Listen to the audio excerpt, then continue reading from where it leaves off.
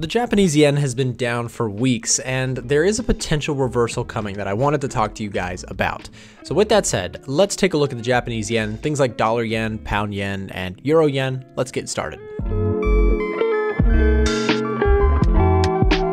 Welcome back to the channel guys. Before we jump into today's video, news is what's driving the Japanese yen and having a better touch on news is really important to your trading. If you can keep up to date with what's going on and what's driving the markets, it could make a big difference. And with that said, I think we should take a look at today's sponsor.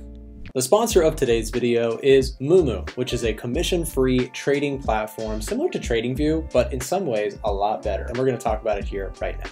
If you're a Forex trader, there's tons of resources here on Moomoo. For example, we could take a look at GBP USD here. We can pull up the quote on it, of course, just like we would on most being uh, most platforms. But one thing that's cool is they've got news right here. You can go through some of the recent news right at your fingertips. Whether you trade indices, futures, Forex, or even stocks, you can place trades, you can look at the market and do your analysis from anywhere, whether you're using the app or the desktop version of Moomoo. It's important to stay up to date with news and things like, you know, the Russia and Ukraine situation that can cause the market to tank on a dime. It's nice to stay minute to minute updated. So for example, I'm looking at the Dow Jones Industrial Average and I could scroll down here and you can see all the different facts and stats on this thing. You can see the stocks that make up the, uh, the Dow Jones, but then you can also go into the news function, see what's going on with this. Additional features like comments are kind of cool because you can stay up to date. So here's example of what we just mentioned about the Russia-Ukraine situation. You can see that there was a post about Putin's war on the US economy.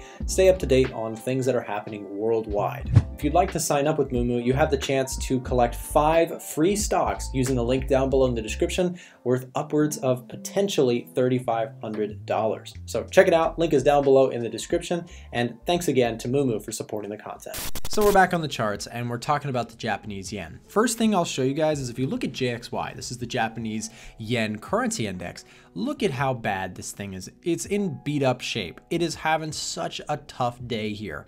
And um, I wanted to look at some things here with you guys. And, and, you know, the question is, we've been getting a lot of people who have asked, you know, is the Japanese yen going to find a bottom anytime soon? And in today's video, I'm going to give you why I think it's possible that we do find a bottom pretty soon but I want to get give a, a, word, a disclaimer of caution with that. Um, this thing is a runaway train, right? The yen is really, really poor compared to things like the dollar and the pound, and this is a runaway uptrend that if you've been shorting has been a really tough time to go against. Now, if you've been long on the dollar yen, you've had an excellent time. So let's talk a little bit about setups and let's talk about what we could look at here. Why would the dollar yen come back down? Well, the dollar is really strong, so I personally wouldn't bet on a short position. However, there is something that happens in markets occasionally where you get, if you look at the daily chart, for example, you get these massive runs in one direction for a very long time. And the volatility here is actually very high. I want to apply a simple indicator onto our, uh, our screen for here uh, for a second. Let's look at the average true range. So the average true range will tell you, generally speaking, how volatile a currency pair is. And if we look at the average true range, you can see that for a while here, the yen against the dollar was moving around 68, 69, 70 pips a day. Then we entered into this phase recently where we're talking about 100 pips a day. And this is crazy, right? We're getting much more volatility from the, the yen pairs right now. Now, the reason I bring that up is that high volatility usually takes a while to subside. But if we were to erase some of these gains and start to pull back, the thing here is we're starting to get into musical chairs territory. When things go up like crazy like this for so many days, weeks, and even months, it starts to get to a point where it does seem to have an overbought status. And I would say that the dollar against the yen is sort of overbought. Now, it doesn't mean that I would look to short it. It just means that when an overbought market like this starts to erase those gains, we could very quickly see a massive drop back on the dollar yen. In fact, that's kind of what I'm expecting to, to look at or look for in the market. I actually am still bullish on this thing, but I need to see a big pullback.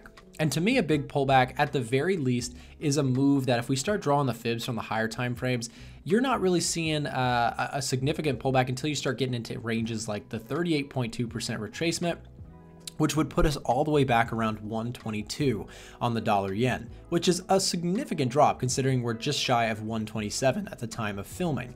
So if I'm looking at this thing, for me, the dollar yen is a no-go zone when we are up in this area. So if you're looking at a higher time frame, I would be very cautious that if we start seeing red candles come in here, I would actually think that we could see a short-term move to the downside. In fact, if you were a very aggressive intraday trader, you know, maybe looking for failures is not the worst option. For me, that's not the style of trading that I tend to do. But if you were to see, you know, breakout failures and continuation patterns to the downside, I think it gives you a lot of room to run considering that the 38.2% retracement is literally at the time of filming this 460 pips away. So I think that there's probably a bigger retracement coming for the dollar yen and not just the dollar yen. If we look at pound yen, for example, there's another one here. Pound yen, same story. Looking at the daily chart, you can see just nothing but up, up, up and away. And if we draw fibs on this one, you know, if you draw from the daily chart, which a lot of traders don't even look at the daily chart, uh, you know, I, I, think that you're really not talking about a significant pullback until you get to the 38.2 here on this one, which puts us all the way at 159.92, which in that case, that's a pullback of, you know, a solid 550 pips. So the thing is, my cautionary tale for something like this is that this doesn't last forever. And it's not that I would short it personally, but if you're looking at things like, for example, euro yen, pound yen, dollar yen, when we get these extensive moves in one direction, look what happened here. Massive slide to the downside, erased dramatically, and went back in the other direction. So it's not that I would try and bet on a bottom here, try and call a bottom. But what I would say is that when we do start to see this thing start to fade, it, when it does start to come down a bit, the come down could be very strong. And so for me, as a bull on these pairs, euro yen, pound yen, dollar yen, when we look at things like the EdgeFinder, which is calling these things strong buys, uh, I would agree, but it doesn't mean I would just buy just because they're listed as strong buys. Um, by the way, if you're not familiar with our software, today is the last day to get the early access sale that we're doing. Uh, the price will be going up uh, by the end of today. So if you're not already uh, in the software, if you'd like to check it out, please do so before the end of the day. Otherwise, the price will have gone up. So if we look at things like, for example, pound yen, the thing is, this thing is in a runaway trend to the upside and the yen is incredibly weak. You can see that interest rate divergence is positive, meaning the UK has a higher interest rate than the, uh, the Japanese interest rate, which is much lower. You've got things like retail sentiment, retail sentiment. Traders are shorting this thing dramatically. So the thing is, it may not come down right away, but when it does come down, I expect it to be a pretty aggressive come down.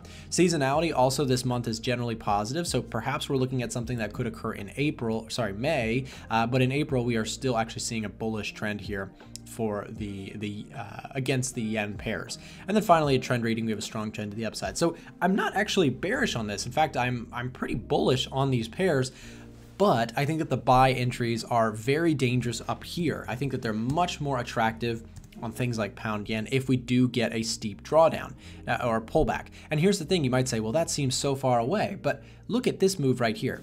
From the top of this move down here, which was a 550 pip move, that occurred in one, two, three, four, about three, four days. That's a dramatic pull down. And so what I'm saying is that if this thing starts to find a top, be very cautious that you're not just, you know, buying up here and, and hoping that the trend will just continue because it can be very aggressive when it does reverse. So for me, again, the idea is these pairs, Aussie yen, pound yen, dollar yen, I like them to the long side, but I've got to see a pullback come into play before I can do so. So that's kind of where I'm at with these yen pairs. I will also talk about gold here for a second. I have a long position on gold. Um, you guys may have seen I have a gold long position here on my broker here, which is Webull. This is an American broker. Um, and it uh, is is, actually a stockbroker. But I have my position on gold here, and uh, my stop loss is at break even, so I can't lose money on this trade, which is you know a good spot to be in. We did actually gap open, we trended higher over uh, the Sunday night uh, move there in London, which was awesome.